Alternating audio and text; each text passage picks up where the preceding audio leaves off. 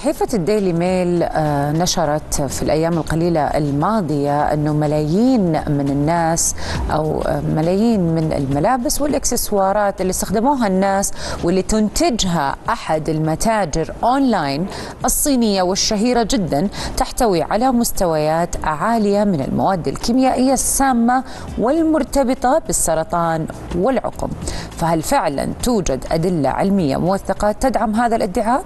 خلونا نرحب معنا عبر سكايب مع الدكتور علي الحضيف استشاري أمراض الجلدية. يا هلا وسهلا فيك وحياك الله دكتور علي.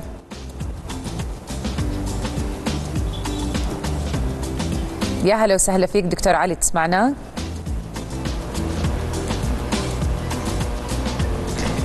طيب. ألو؟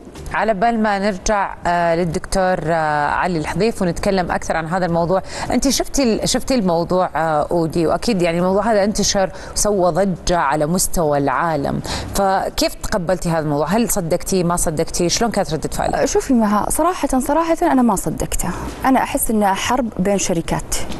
والصين الحين بدأت صارت طبعا تقريبا تعتبر ثاني موقع آه، عالميا يتم تحميله. فأحس بسبب هذه المشاكل. غير كذا لما نفكر بأشياء كثيرة حولنا إحنا نستخدم البلاستيك بكثرة. علب الموية فيها بلاستيك. آه الله يكرمكم الشوزات اللي إحنا نلبسها فيها بلاستيك.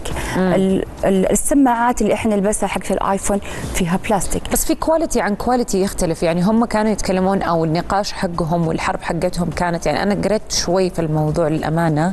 ف المواد المستخدمة المسموح فيها مثلا في آه، يعني إحنا مثلا عندنا في المملكة العربية السعودية آه، هيئة المقاييس والجودة والمعايير اللي تسمح بدخول أي منتج إلى المملكة العربية السعودية بعد ما يمر في اختبارات كثير. فهذا عشان صيني ويعني يشحنونه من هناك فقالوا هذا الكلام.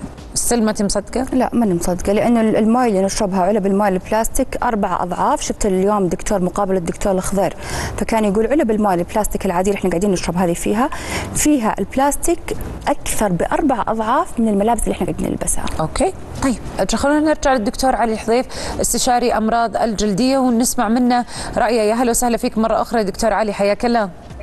هلا حياك الله. شكرا لك وشكرا لتواجدك اليوم معنا في البداية يعني كيف تلقيت هذا الخبر خبر أنه أحد الشركات العالمية الصينية والمواقع المعروفة جدا التطبيقات أنه آه، فعلا الملابس والإكسسوارات اللي تنتجها قد تؤثر علينا سلبيا وتسبب أمراض آه، إن صح التعبير. طبعا بشكل أو بآخر هي المادة اللي اللي تم نشرها اللي هي مادة الفاتلات آه، داخله في منتجات جدا كثيرة. منتجات جدا كثيره حتى انه صعب أحيانا نعرف إنها هي موجودة أو لا. وطبعا حسب ما هو مصرح بهيئه الغذاء والدواء الأمريكية إن ال- ال- الكميات البسيطة منها غير غير ما تسبب أي مشاكل صحية. ومصرحه عالميا لاستخدامها هو فقط ال- ال- التراكيز العالية منها جدا. هي اللي قد تدخل في في في مس- كمسبب للأمراض سواء أمراض العقم أو أمراض المشاكل يعني الخبر اللي إحنا سمعناه قد يكون صحيح إذا كانت بنسب عالية في ملابسهم وإكسسواراتهم؟ بالضبط هو هو وجودها بنسب عالية فقط ولا هي كمنتج هو تسبب عالميا تسبب السرطان وأمراض الجلدية لهالدرجة؟ هي ممكن تسبب أمراض استق... أمراض استقلابية تمام؟ مو سرطان الجلد هي تمتص عن طريق الجلد أو حتى عن طريق ال- ال- الابتلاع طيب دكتور علي هل هناك في أدلة أكيدة على أن هم يستخدمون فوق المصرح لهم هذا. هذا بشكل أو بآخر را- راجع لل... لل- لل- للمختبرات الكيميائية يعني بالنسبة لل... لأن إحنا فقط نأخذ التركيز إذا كان تركيزها عالي فعلا مثل ما ذكر في. فهذا فعلا خطر جدا على الإنسان سواء هي أو مواد أخرى يدخل فيها برضو المواد اللي هي تدخل في الأصباغ مثل الزئبق مثل مواد النيكل والكوبالت بنسب عالية ممكن تسبب حتى أمراض حساسية حتى ممكن تسبب مشاكل صحية كبيرة. بصراحة. نعم.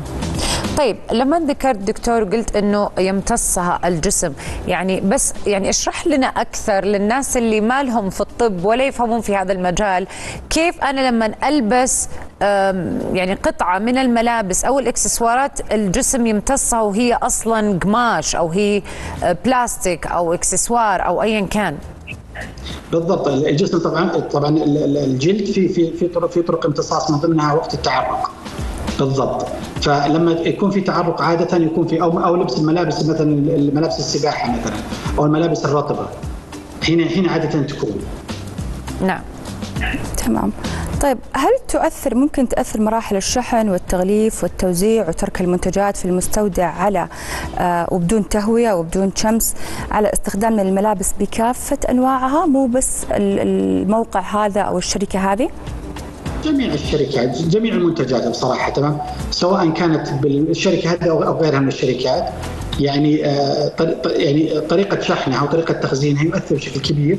لذلك نلاحظ إحنا عندنا مثلا وزارة التجارة الهيئات العامة عندنا المسؤولة عن الرقابة والتفتيش فيها. عادة تكون آه، تركز على موضوع التخزين والنقل آه سواء للمنتجات الملابس أو غيرها منتجات الأدوية منتجات التغذية. كثير منتجات ياثر فيها التخزين والنقل والشحن جدا مهم يعني فيها لأنه ممكن يغير من آه، آه، يعني آه، خصائصها الكيميائية يخليها من منتج سليم إلى منتج خطر.